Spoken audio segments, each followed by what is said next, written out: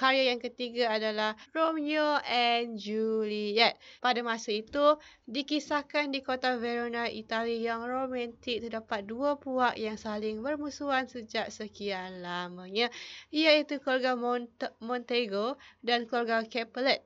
Mulanya Romeo berasal dari keluarga uh, Montago yang jatuh hati kepada Rosalind yang berasal dari keluarga Capulet.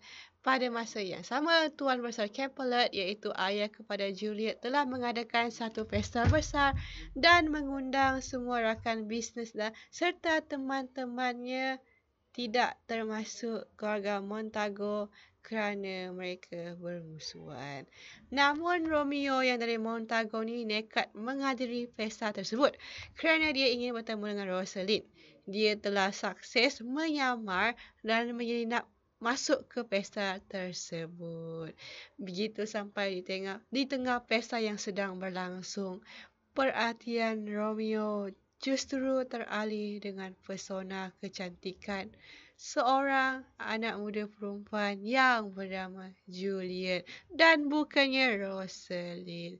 Julian pun, Juliet yang menyedari kehadiran Romeo dan mereka berdua pun telah jatuh cinta di pesta tersebut. Sayangnya di tengah kebahagiaan tersebut salah satu peristiwa besar telah terjadi iaitu Romeo punya sahabat ya telah meninggal telah mati dibunuh oleh sepupu Juliet. So Romeo yang awalnya dia tidak dia tidak pernah simpan dendam terhadap, terhadap keluarga Capulet ni.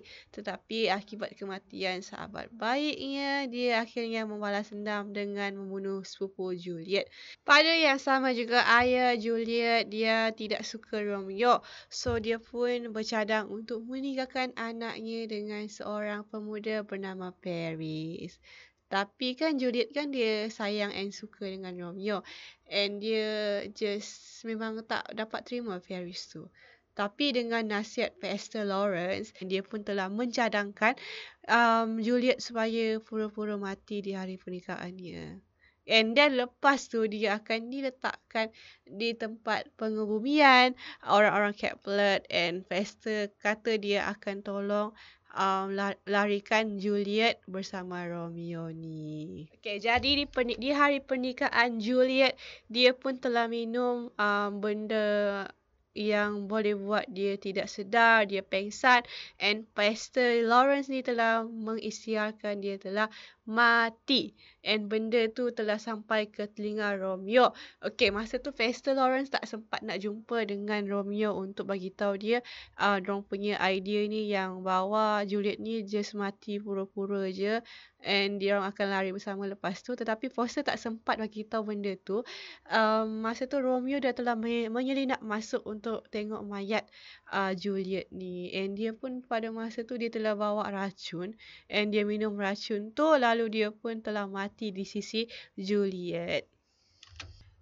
Okay, selepas dia telah mati, Juliet tersedar yang Romeo telah mati di sisinya. Dia pun ambil um, Romeo punya pisau. Pisau ya. Yeah. Dia ambil pisau Romeo and dia telah menikam dirinya sehingga dia pun ikut mati bersama lelaki yang disayanginya. Persoalan yang penting selain pengorbanan untuk cinta iaitu permusuhan antara dua puak atau dua pihak hanya mendatangkan keburukan sahaja dan tidak akan mendatangkan kebaikan atau mana-mana hasil yang baik disebabkan ego dua nyawa telah terkorban. Cinta tidak dapat menandingi kebencian selama bertahun lamanya itu.